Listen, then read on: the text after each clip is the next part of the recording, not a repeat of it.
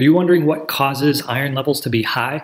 Maybe you're told you have high, high iron and you don't really know what that means.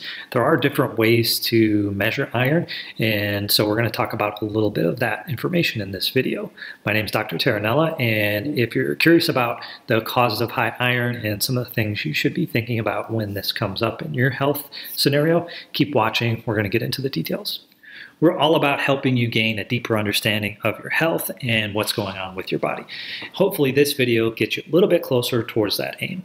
Also, wanted to point out that sometimes when I'm producing this content, uh, I get a statistic wrong or the name of something wrong, and almost always there's a corresponding blog article on our website, SW Integrative Medicine forward slash blog. You can find it there. Uh, those oftentimes go into a little bit more detail than the um, than the videos do as well. So please uh, check that out if you're interested. And um, it does take you know considerable effort to produce this content. So if you're liking the information, please click on the like button and subscribe to the channel. If you do have questions about any of the content, please ask it in the comment section uh, here or on the blog. Uh, that's why I'm producing the information for you to gain that deeper understanding. So ask the questions if you have them. Uh, hope you enjoy the video. Thank you for watching. Let's get into it.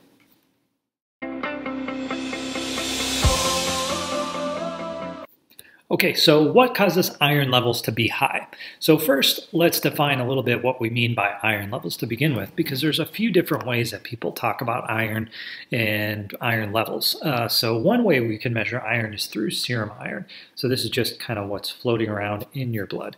And then, um, and you know, it's more free and ready to be used.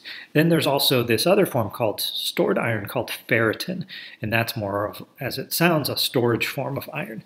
And then there's a there's another way that's kind of more of a surrogate marker for iron. It's not actually iron, but it contains iron, and that's hemoglobin. So hemoglobin is uh, a molecule that helps your body transport uh, oxygen, and uh, in order to make hemoglobin, you need iron. So iron is a core part of that. And so oftentimes when we say, you know, iron and hemoglobin, they're used interchangeably. But for this uh, for this uh, video, we're going to exclude hemoglobin as part of the uh, the idea of what we're talking about as high iron. So we're talking about high serum iron and high ferritin. Now, and specifically, we're, we're going to look more so at the ferritin.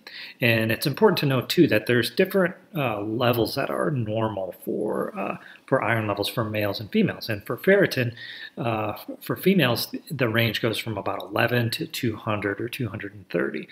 And for males, it goes from about 25 to 500. Now that's a big range. And so when we talk about high iron levels, you know, there's sort of two, two ways to think about this. And, you know, the uh, two ways to think about it is like extremely high iron, like above the normal range. And then there's, um, you know, optimal ranges. So you know, for the purpose of this, we're going to be talking about both of those. Um, and, uh, you know, if you have a ferritin level and you're a female above 200, I would say that's, you know, pretty high and you there are a few things you should be thinking about for that. And they're not too much different for the male. So for a male, if they have a ferritin that's above 500, you know, there are a few things you should be thinking about. So one of those things is uh, called hemochromatosis. So hemochromatosis is an abnormal absorption of iron through the digestive tract. And when you when that happens, you tend to accumulate more iron. Uh, for females, this probably is not going to happen if you're having normal menstrual cycles, um, but it still can. It's just more uh, more common when you go after you go through menopause for this to to creep up. Uh, for males, it can it can show up, you know, in in your mid to, to later years um, because it does take a while for it to build up. So um, you know anything over 500 is uh, considered you know somewhat problematic. Usually, when you have hemochromatosis, you have extremely high numbers, but sometimes it won't show up right away. So it really depends on you know several different things like sp- your specific genetics. So there's several different uh, gene alterations that will cause this uh, iron to absorb. If you're doing any kind of blood donations, that will mitigate the risk um, for both males and females. And uh, uh, you know your diet is going to play a big role too. So there's iron's only in certain uh, certain things. Main source of iron that we get is called heme iron, and that's coming from the hemoglobin or blood of animals. So if you're eating animal products, you're getting some iron. Uh, if you're not, then you know you're getting a little bit, but depending on you know how well you, how well you absorb it, uh, you probably won't get high iron if you're not consuming animal products. Okay, so just to summarize, we talked about two main uh, reasons that people can get high iron.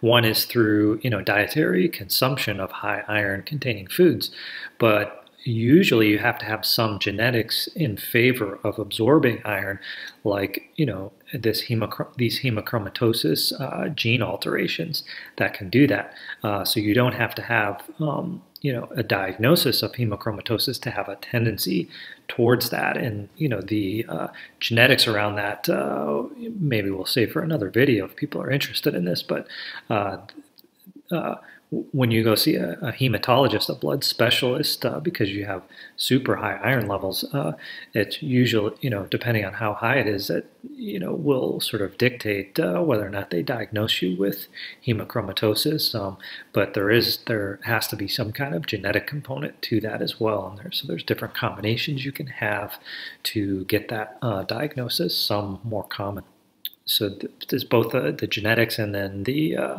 uh, diet in summary. Um, there is another reason that uh, people can have high iron or high ferritin, uh, and that has to do with inflammation. So it's uh, what happens in this phenomenon is called anemia of chronic disease.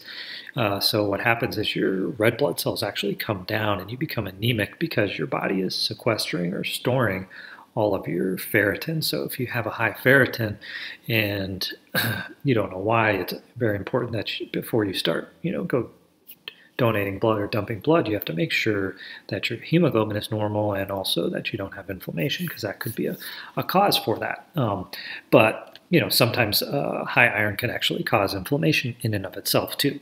So there's a little bit of a subtlety that you need to be able to um, tease out there with the, usually with the help of your doctor. You can do that, but um, um, yeah, those are the three uh, main causes of high iron. High iron foods, uh, hemochromatosis or genetics uh, favoring that, and then uh, you know some sort of anemia of chronic disease or some sort of chronic inflammation, chronic infectious type thing will also do this.